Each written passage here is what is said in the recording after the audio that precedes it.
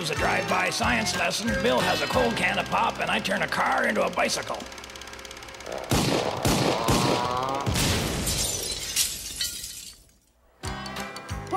Here's the man I call uncle, my uncle, husband to the woman I call aunt, and favorite and only brother to the man I call dad. Here he is, Red Green!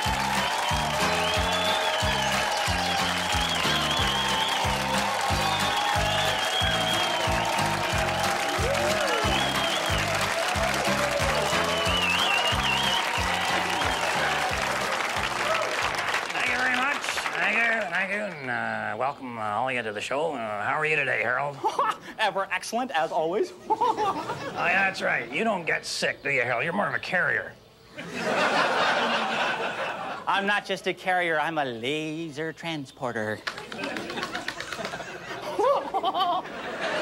Well, we've been having a bit of fun uh, this week up at the lodge. Uh, the guys were looking at some of that uh, bungee jumping, you know, where they uh, tie a big jock strap on your ankle and heave you off a bridge, you know. And then the blood all rushes to your head and you damn near kill yourself and makes you feel young again, apparently. You know, actually, that bungee jumping is not safe, and it's been banned in a lot of areas. Cement areas, I think. Well, of course, you we can't afford the real official uh, bungee jumping gear or anything, but Junior Sinkman got the idea that if you climb to the top of a real springy tree, like, you know, a willow or something, you know, and you say you tie your foot off to the top branch and you just dive, it's got to be the same effect, really, you know. You gotta be a pretty good idiot to do that. Well, thanks for volunteering, Harold. But we got a whole lineup of guys ahead of you. In fact, uh, they're waiting for this rope, so maybe we should uh, get on with the show. Oh, yeah, okay, sure, excellent. because we have a superiorly excellent show for you this evening. Pretty much the same as all the others, as far as I know. There's no understanding of the television business. Obviously. I often look back as I get older at the fun we had with Murphy's Boulder. Was six feet across, must have weighed nine tons, round and smooth as a baby's bun. We leave messages on it and lean against it. It was like a friend who was solid and true. Then after dark, we roll it into the lake and watch boats smack into it really, really hard. Oh, that's good enough. This week on uh, Handyman Corner, we're going to show you something that you can do with that old wreck of a car that you may have sitting out on your front lawn, say, or perhaps wedged into the garden shed. Now, up here at the lodge, of course, uh, when a car gets too dangerous to drive, we just sell it to another member.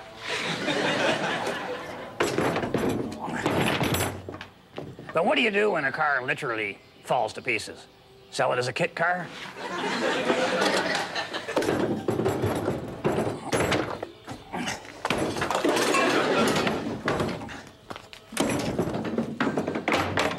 Now, a lot of people would uh, see this big pile of crap and figure, well, this is no longer a viable means of transportation. But a lot of people are not me. I look at this stuff.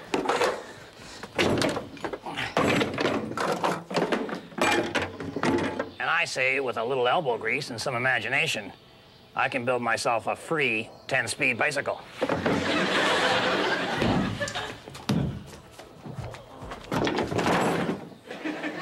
The motor hadn't seized up, I could build a moped. All right, the first thing you need to make yourself a, uh two-wheel bicycle, of course, is two wheels.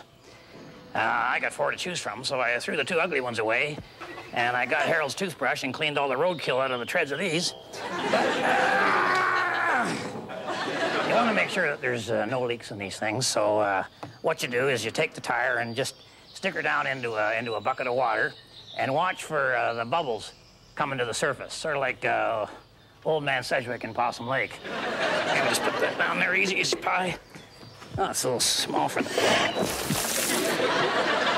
All right, uh, well, we'll assume there, there's no leaks there. Now, I'm gonna need to make a uh, frame for the bicycle. By golly, this will work right here.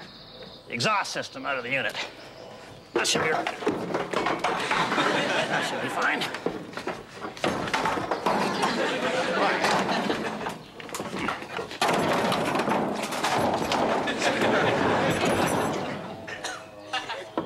wonder gas stations are so messy. All right, uh, take a hacksaw, and you want to start uh, hacking this thing up. You'll need uh, three two-foot lengths and two three-foot lengths. So that's three twos and two threes, uh, which is a full house, I believe. Uh, golly. Boy, uh, hacksaws are fragile things, aren't they?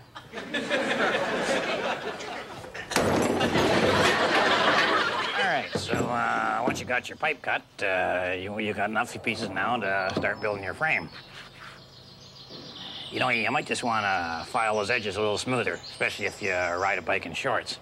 now, to put all the pieces together, you can use stove bolts, or uh, you could use a welding torch, or you could use, that's right, the handyman's secret weapon, duct tape.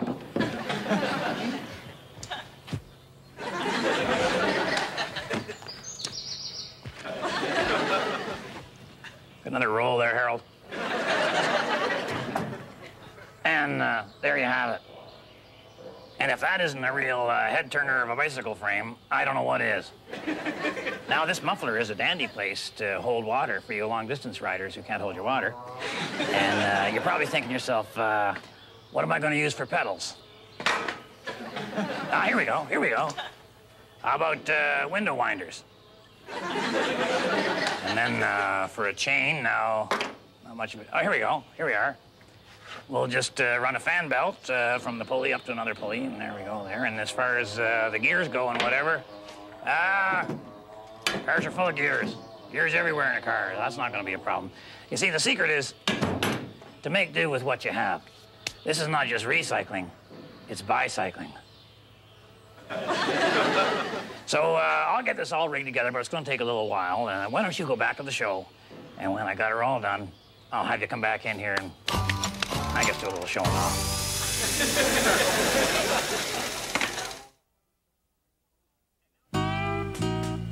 And now it's that part of the show where we expose the three little words that men find so hard to say, I don't know. and here now is the expert, my Uncle Red, and of course, his good friend, Mr. Hap Shaughnessy, local fisherman and raconteur.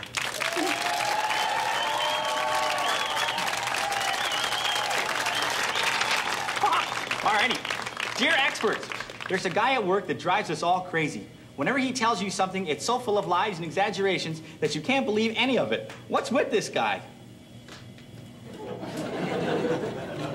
Well, Hap, this sounds like it's more in your area. Well, it's a self-confidence problem, isn't it? Um, people uh, who stretch the truth, generally trying to make themselves more important than they really are, uh, just to make up for their poor self-image. That's very insightful. Yeah, that's what Sigmund Freud told me. What's the very worst bragger and boaster that I ever met was on one of our climbs up Everest. We had seven attempts. All of them were successful. But you should have heard this guy and the stories that came out of his mouth. Space expedition, running the two-minute mile, playing billiards with the Pope. I happen to know the Pope only plays stripes and solids. But this guy got to me so much, I had to leave the tent. I had to get out of there and sleep on the glacier. Better to risk another encounter with the abominable snowman than spend any more time with this man. Yeah, I know where you're coming from there, huh? But of course, I didn't expect the avalanche. 350,000 tons of snow cleaved off that mountain and landed right on my knee. the bad knee. Well, I wanted to scream, but uh, some of the crew was still sleeping, so I quietly just tried to dig myself out a bit.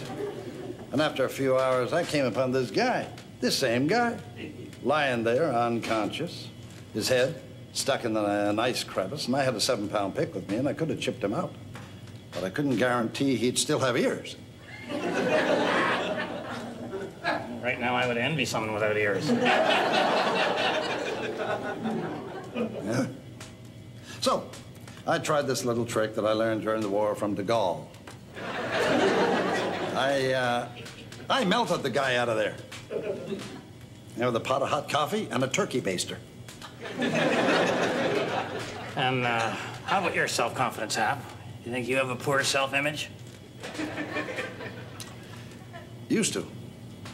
Before I was knighted. Don't ask him, Harold. It is spring. The bears emerge from hibernation, desperate for cohabitation. The birds fly home to mate and nest.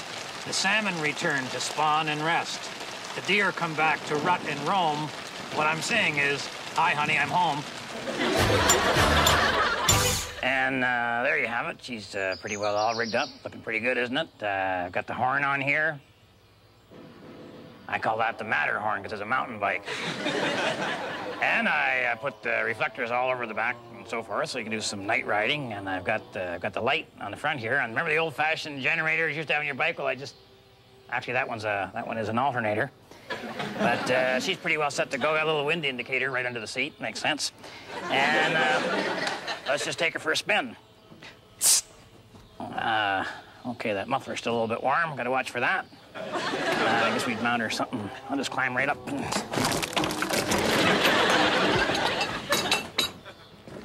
Um. All right, well, I'm gonna tighten a few things up. Maybe I need another couple of rolls of duct tape, uh, but I'll, uh, I'll, uh, I'll take care of that. Maybe thin out the frame and uh, what have you, and uh, and uh, fix her all up. And I think she'll look quite a bit different by the time I do this properly. I'll just, I'll just make cut. And that's all it takes. A little extra time and effort, and I've made this into a, uh, a really a lovely 10-speed bike that uh, coincidentally looks exactly like Harold's bike. That's how good, a, good of a job I've done. Right down to the name on it and even the dents. It's just amazing. I'm, I'm pretty proud of that. anyway, remember, the women don't find you handsome. They should at least find you handy. Harold, we've traded bikes, by the way. Harold, Harold, Harold.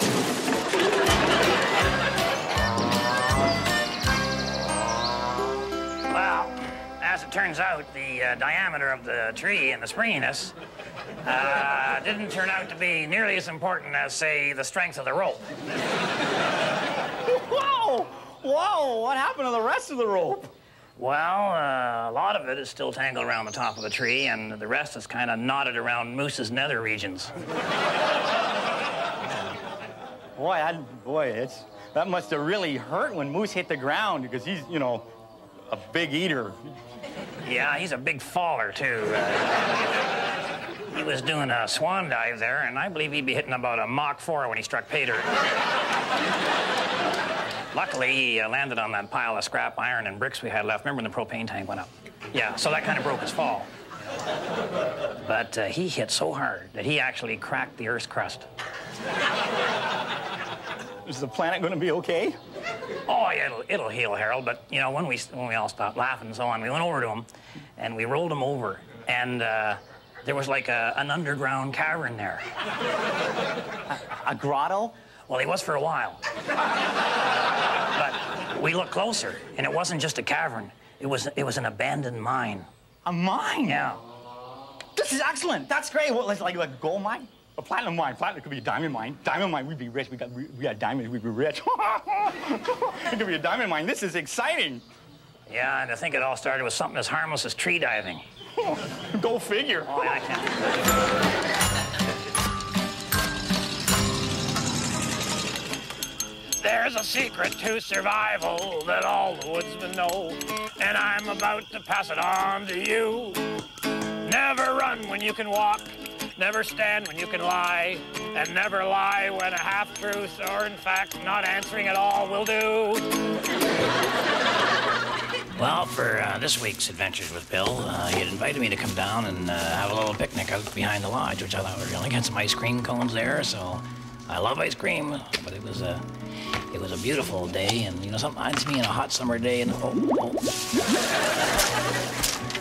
all right, well, uh, I don't think I was that late. Well, luckily I had somewhere to clean my hand, off anyhow, and there's some butter there, and. Yeah. All right, now at this point we're starting, and you got some ice cubes, and yes, yes, I see. I, I think what Bill is trying to say here is that the sun melts stuff. So now Bill apparently was going to teach me some highly secret scientific principles, which is which is how you can make a refrigerator uh,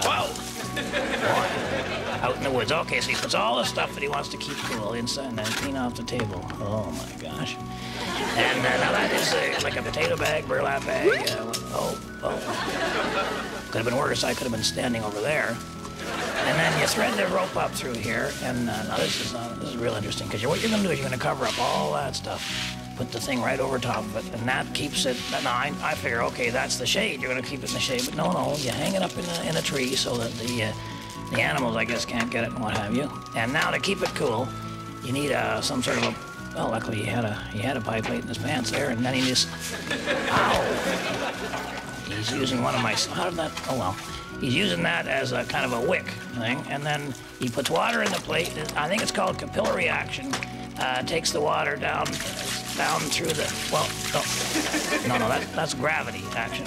Anyway, that keeps it cool. The water evaporates or something. I don't know how it works, but apparently it works real well.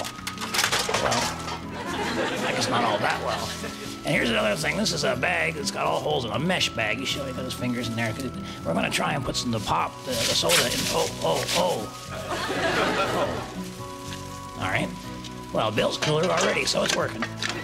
I puts all the cans of soda pop in there and take them down. And uh, the idea here is you uh, you tie a rope to it and you throw it out into the into the lake. You know, where it's cooler at the bottom and so on. And uh, actually, there, it should be. There's a couple of fridges down there, I think.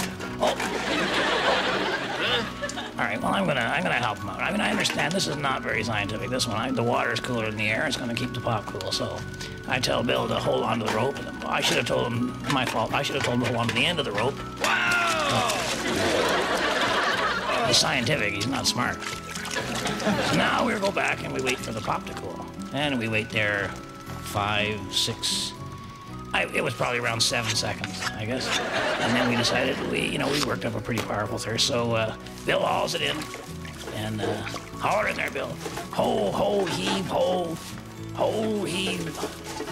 Boy, oh boy, that's a scary sight. Anyway, up she comes, and uh, we each get out a can of pop. Of course, she's been uh, shaking up pretty good there, so uh, I forgot. Then Bill's getting a big laugh out of me here because I covered myself with a sticky. Oh, that's funny, isn't it, Bill? What? Yours okay? Now here's something for young minds from something with a small mind. So, welcome to Hanging with Harold, a brand new feature on the Red Green Show, which I'm sure is going to be of interest to anyone under the age of 80.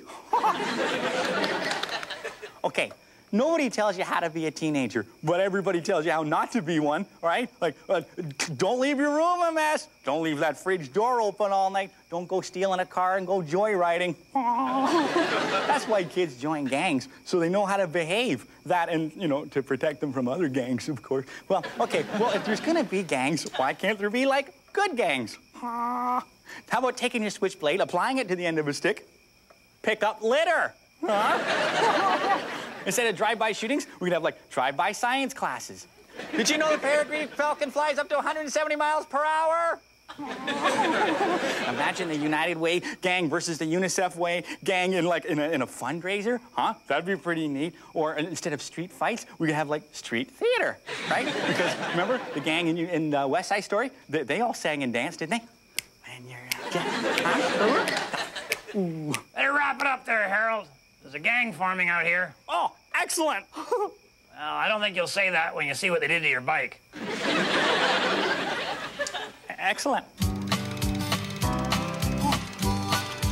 Sorry, Harold. I couldn't stop them, though. They were big girls. you know, they say that uh, the young people are the future of this country. Well, I, I saw some young people today hanging out at Murray's store. And from what I can tell, the future is going to be bald on the sides with a long piece of hair on top, spit, swear, smoke, and wear pants that are five sizes too big for it. I said to them, boy, if you people are the future, I'm glad I'll be dying soon. And uh, they seem pleased with that themselves.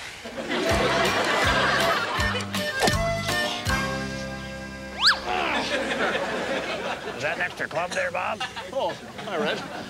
No, I was, uh, conducting a air density test for the Department of Natural Resources. you see how that, uh, how that drifted and then caught a thermal? It's very important in environmental data stuff.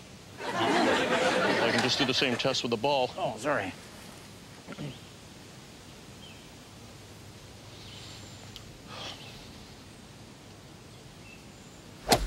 Hold on, Bob, Bob. Bob, Bob, Bob, Bob, Bob, Bob, Bob. Here, come here, come here. The problem is you, you can't read the, the, the, wind speed thermal stuff and hit the ball at the same time. So, so I'll, I'll do the easy part. All right. Oh, uh, Red, uh, try a, there's a, there's a sand trap on the left side, so try and, try and stay on the right side. Yeah, all right. Hmm, that's, that's right on the green, Red. Yeah, yeah. Well, that's good, too. All right. Listen, would you, let me take that, would you like to finish my round for me? Well, did you, did you get the, the wind information needed from the ball there? Hmm? Oh, yeah, well, don't worry about that. We've got 35 more holes to play. You know, Bob, I wanted to ask you, uh, do you know anything about an old mine uh, over on the east side of the lodge, maybe a long time ago? Oh, yeah. Yeah, they closed that mine about 50 years ago. It was an old coal mine. Oh. It never produced enough coal to pay for itself, so of course they, they sold it to the government.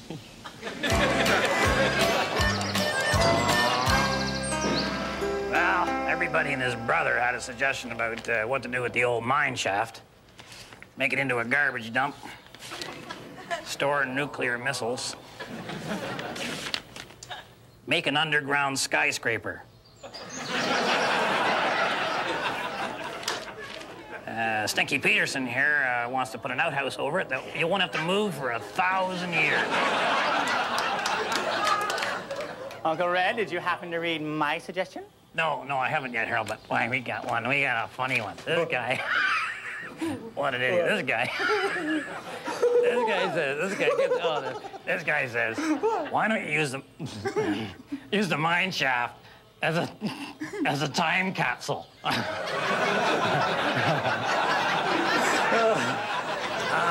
man. Oh, sorry, Harold. Sorry. Uh, well, uh, old man Sedgwick now, he said what he would like to do is he'd like to, to mine gasoline. How,